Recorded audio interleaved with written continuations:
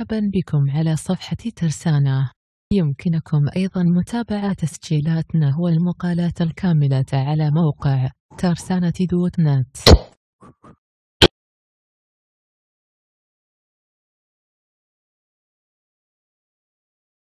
أعلن وزير الدفاع العراقي جمعة عنات في عام 2020 إنه هناك رغبة في التعاقد مع فرنسا لشراء مقاتلات من طراز رافال.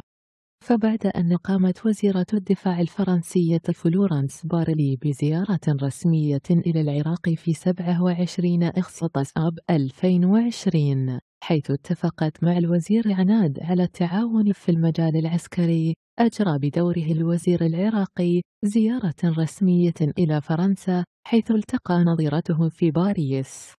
ووفق بيان وزارة الدفاع أضاف الوزير العراقي أن الهدف الوحيد من زيارته لفرنسا هو تعزيز قدرات الجيش العراقي بأحدث الأسلحة والمعدات وأوضح أن هناك رغبة بالتعاقد لشراء طائرات رافال من الجيل الرابع من فرنسا. لكن حتى الحين لم تتم ترجمة هذه الخطوة عمليا ولم يعقد أي صفقة ولا مبدئية. وذلك بالرغم من أن العراق بحاجة ملحة لهذا النوع من الطائرات المتقدمة والمتعددة المهام وبات الجميع يعلم أن فرنسا سعت لترويج طائرتها في العالم بطريقة مستمرة منذ سنوات. يمتلك العراق حاليا 36 طائرة من طراز F-16 فالكون ويعتمد في عمليات الهجوم والقصف الجوي على مقاتلات خفيفة. كالطائرات التدريب والهجوم تي 50 الكورية وطائرات دفع تور بنائي تي 6 المستوحاة من طائرات أنا 29 سوبر توكانو البرازيلية وخصوصا السوخوي 25 الروسية إلى جانب الطيران يعتمد الجيش العراقي على مروحيات هجومية روسية وأمريكية المنشأ. هذه الإمكانيات تبدو متواضعة جدا مقارنة بما كان الجيش العراقي يملك سابقا.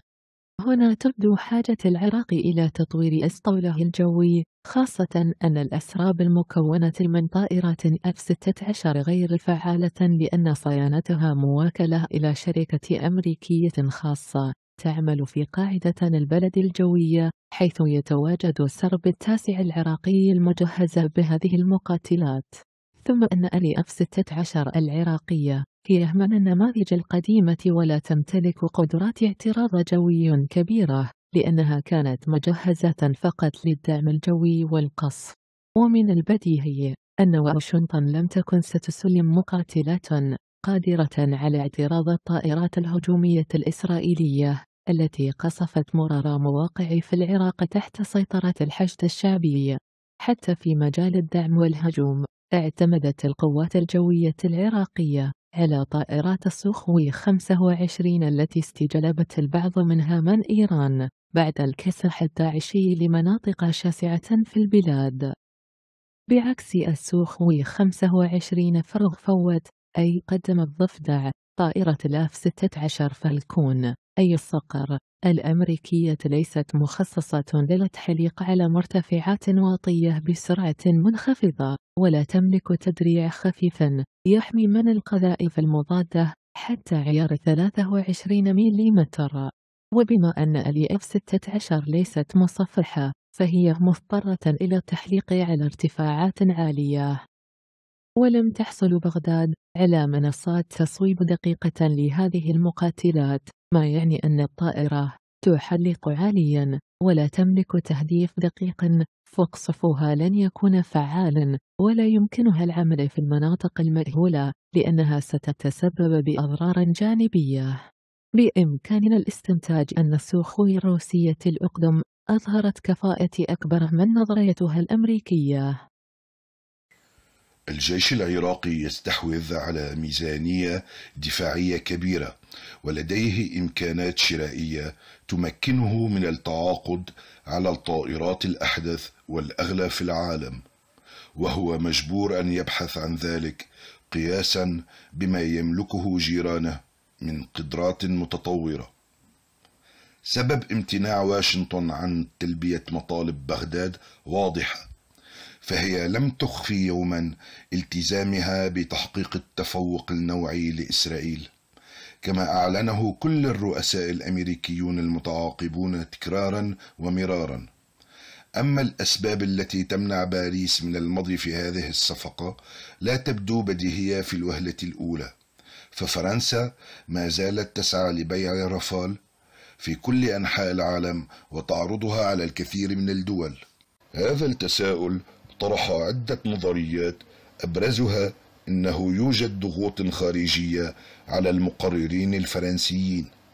منطقيا لا يوجد مبرر آخر. لكني لا أميل إلى فكرة أن الولايات المتحدة هي من تعرقل هذه الصفقة وذلك لأربعة أسباب رئيسية. أولا لا تستطيع واشنطن أن تطلب بوقاحة من باريس أن لا تبيع السلاح لبغداد بينما هي تبيعها السلاح بالمليارات. باريس ستعتبر ذلك احتكارا تجاريا. خصوصا أنه يوجد دول أخرى لا تتردد بتلبية مطالب بغداد. ثانيا الدولة العراقية تحظى باعتراف دولي وليست خاضعة لعقوبات أممية والعراق لم يعد مصنف كعدو في الغرب.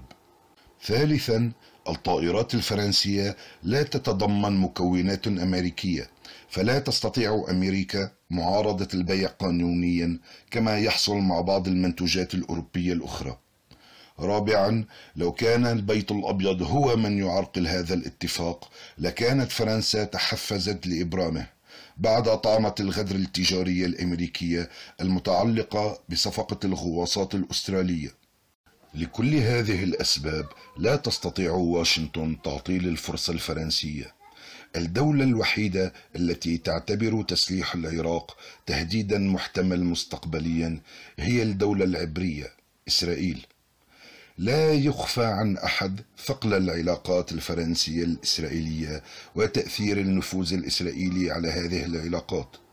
فرنسا تضم أكبر جالية يهودية في أوروبا وهي مؤثرة في النسيج الاجتماعي والاقتصادي والثقافي الفرنسي. هذه المؤسسات تشكل طبيعيا عصب اللوب المنحاز لإسرائيل. هنالك ربما دولا في الشرق الأوسط لا تريد جارا عراقيا قويا لكنها لا تملك أدوات الضغط التي تملكها تل أبيب في باريس. خلاصة هذا الاستنتاج إن فرنسا على الأرجح لن تصدر الرافال للعراق بسبب التدخل الإسرائيلي. الخيارات المتاحة لبغداد في هذه الحالة تتمثل بالالتفاف نحو الشرق. يعني إن الخيارات الأكثر واقعية هي المقاتلات الصينية والروسية. نسبة الخيار الروسي أعلى لأن أكثر المقاتلات الصينية من الجيل الرابع تعمل بمحركات روسية وموسكو ستعارض التصدير بشكل متوقع. أما فكرة اقتناء مقاتلات غربية بديلة كطائرة ساب جريبن السويدية أو التايفون الأوروبية فهي صعبه المنال لأنها تحتوي على مكونات أمريكية. وربما إن وجود هذه الخيارات عند العراق هي التي ستدفع فرنسا للقبول في النهاية. فلا واشنطن ولا باريس تريدان أن يلحق العراق بالمحور الشرقي. خاصة إن سوريا في غربه وإيران في شرقه تعتمدان على السلاح الشرقي وهذا ممكن أن يؤدي إلى تفاعل تعاوني بين هذه الدول الجاره وربما ستكون الضغوط الداخلية من قبل لوبي الشركات الصناعية المعنية هي من ستفرض على الحكومة الفرنسية قرار القبول لاعتبارات اقتصادية. ومما يحفز الفرنسيين أكثر هو إن الرافال سبق وأن تم تصديرها إلى ثلاث دول عربية هي مصر وقطر والإمارات. بكميات كبيرة ما شكل طفرة في الطلبات لشركة داسو والشركات المتفرعة منها أو المتعاقدة معها. فما سر نجاح الرافال في تصديرها بالرغم من سعرها المرتفع وكونها من الجيل الرابع المحدث وليس الخامس؟ وما هي مواصفاتها وميزاتها التقنية؟ سنحاول الإجابة في تقرير الثاني قريبا لنستطيع التفصيل أكثر. إذا أعجبكم الموضوع فإدعمونا بالضغط على زر الإعجاب والاشتراك أو زر الجرس ليتم إخباركم بكل نشر جديد. يمكنكم المساهمة بتعليقاتكم وبإرسال الفيديو إلى معارفكم المهتمين.